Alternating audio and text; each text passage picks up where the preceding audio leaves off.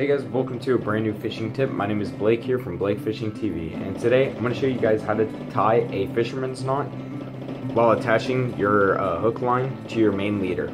So this is basically what we're going to have towards the end. So I'm going to go ahead and cut this and reuse this line so I don't have to use any more line.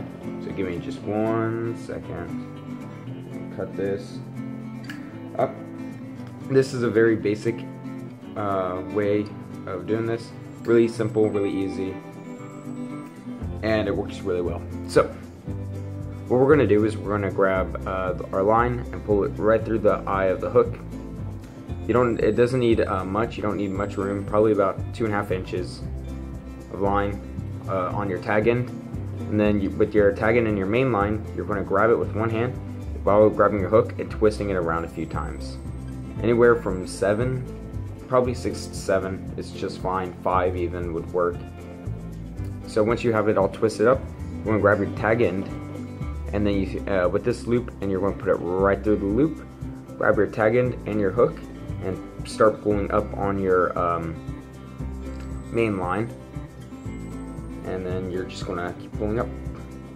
And then once you get it to like here, you don't really even have to hold anything but your hook and your uh, main line and it should just automatically slip up and tighten into that. It is always better to go ahead and get your line actually moist. So just what I do and then you pull it. It's always better to do that. It's really have no clue why, but it's better to do that. Then you can go and grab your pliers and cut whatever's remaining and that is, believe it or not, not going anywhere. Now you can go and tie a surgeon's knot, which I showed you in my last video. It's pretty basic. Um, well, it's tying a surgeon's knot with an overhand knot, pretty much, or figure eight knot. I don't know what it is exactly. But you grab, uh, you grab your this line and this line at the top, fold it over like so, and then you're going to fold it over and basically do one overhand knot. Grab your line can. Quick. And then just pull upwards. Like so. And then you go ahead and tag, uh, go ahead and cut your tag end.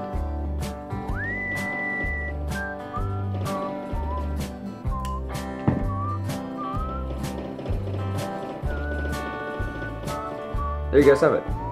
Really basic, easy, and you can go ahead and actually uh, tie this on to your um, what's it called? Your snap swivel or not snap swivel. I forgot what it's called but go and tie it onto your leader just like this. Beautiful perfect really easy. And I want to go ahead and tell you guys something about my last video uh, that also that leader that I made in my last video which will be link in the description below. That leader works really well on redfish like you know red you know on the ocean, salt water, because uh, that's what I use uh, whenever I go for redfish. Put a crab on that, put some squid, cast it out there, bound to catch a, a nice sized red drum. It also works for sharks, obviously, but um, yeah. So hopefully you guys enjoyed this video. Really basic, really simple. Takes about a minute if you know you're doing this for your first. I mean, if you're doing this after your first time, really basic.